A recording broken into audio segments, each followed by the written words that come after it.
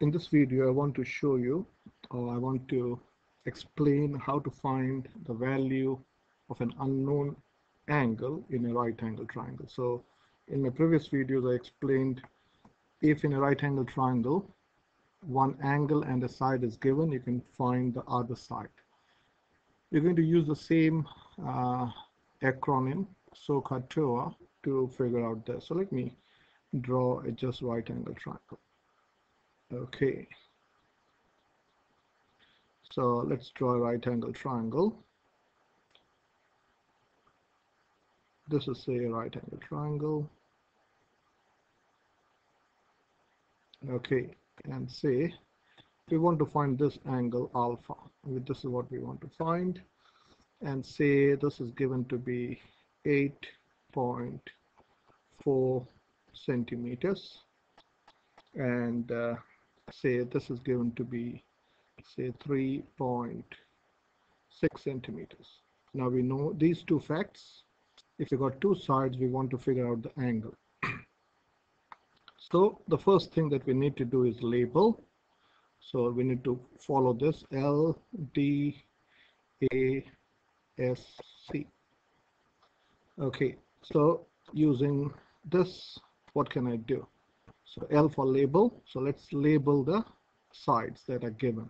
So this is uh, 8 point. This is the hypotenuse. So let's label this H. And this is adjacent. So that is A. So you got A and H. We need to decide. So you've done this. Now we need to decide. So A and H uses CAH. CAH is the triangle that we need. So it's good to draw the CAH triangle, C A H.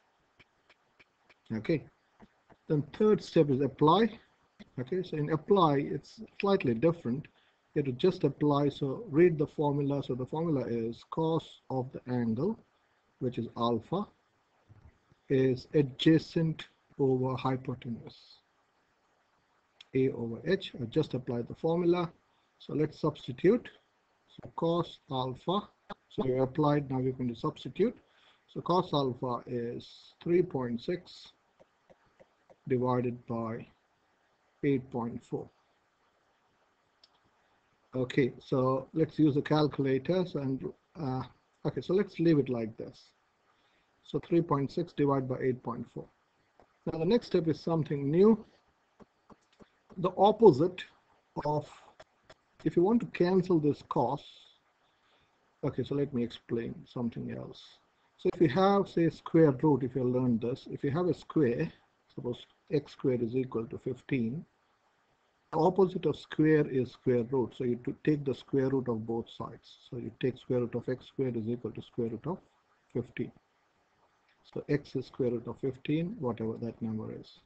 So the opposite of square root, sorry, square is square root. So to cancel the square, you have to take the square root of both sides. Okay, interestingly there, I don't want this cos sitting here. So the opposite of cos is cos inverse. So let me write that.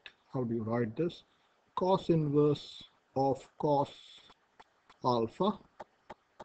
I'm taking the cos inverse of this side. So you have to do the cos inverse of the other side. I'll explain this in a calculator. This is cos inverse of 3.6 divided by 8.4. So let me explain what, what is the meaning of this. On a calculator, if you go cos inverse of cos 30, okay, if some of you may have a bracket, will give you 30. So let me show you that. So if you go shift and if you press cos, this is called cos inverse and now you press cos 30 will give you 30 so basically what I'm saying is cos inverse and cos cancel each other out. Okay so let me do one more example. Sorry. Shift cos press this yellow key which is shift and press cos this will bring this up on your calculator. Cos inverse of cos let's say is 10 so this and this cancel each other out. The uh, calculator will give you 10. Okay, so that's what I'm saying. I want to cancel this cos. my purpose is to cancel this cos. I don't want cos, I want co alpha. So I have to do the cos inverse of the left hand side. So if I do the cos inverse of the left hand side, I have to do the cos inverse of the right hand side. So now I can say alpha, alpha is equal to cos inverse of 3.6 divided by 8.4 this is this is an application or calculation. So this is substituting in the calculation. Basically you have to take the cos inverse of this number. So let me show you how to do this on calculator.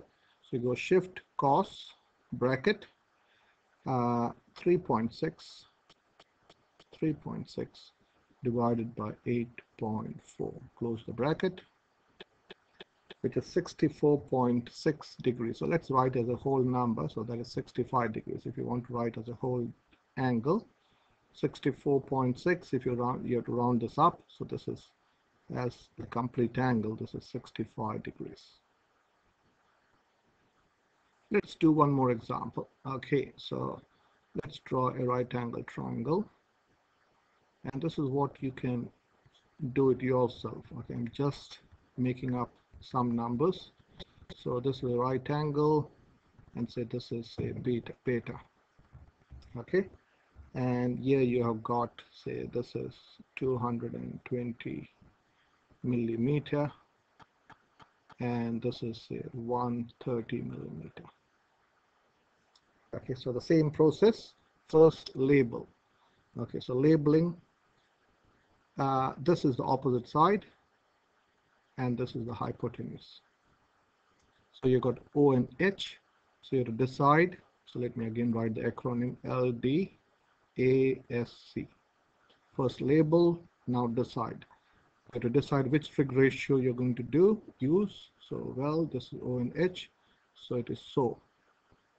The third step is slightly different than SOH. You have to apply or write the formula. So apply is S stands for sine of the angle. So sine of the angle is beta is opposite divided by. So let me write it like this: opposite divided by hypotenuse. So let me rewrite. So I'm to substitute now. So this is sine beta. What is opposite? It is 130 divided by 220. So I'll do it so we are smart now. So we what you can do is you have to take sine inverse. If, if you want to cancel the sine, you have to take the sine inverse of this side. So you have to take the sine inverse of the other side. So I can say beta is equal to sine inverse of 130 divided by 220.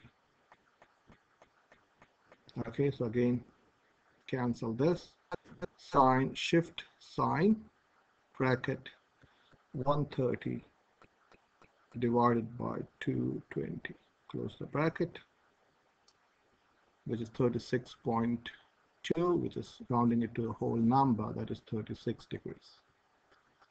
Okay let's finish off with this example. So again, you've got a right angle triangle, you've got two sides, and you want to find this angle alpha. Okay, so the first step is again label. So this side, so this side is the opposite, and this is the adjacent. Next is you have to decide. So the decide the trig ratio that we're going to use using O and A is TOA, T O A. So this is deciding now you have to apply the formula. So applying the formula, I can say tan of the angle, which is alpha, is O divided by A. Next is substitute. So tan alpha is O. What is O? O is 1.4 divided by 2.6.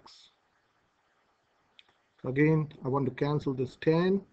So you have to take the tan inverse of this side to cancel this tan. So you have to take the tan inverse of the other side. So you can directly do like this. Alpha would be tan inverse of 1.4 divided by 2.6. So again, the same process. So cancel shift tan of opposite.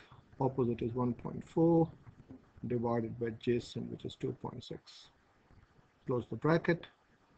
And the answer is 28.3 degrees, or you can write 28 degrees as a whole angle. So this angle is 28 degrees. Now if someone is asking you how much is this angle, suppose this is beta, how would you do it? Well, you know alpha plus beta should be how much? The sum of three angles of a triangle is 180. This is 90 degree. So alpha plus beta should be 90 degrees. So this is basically 28 plus beta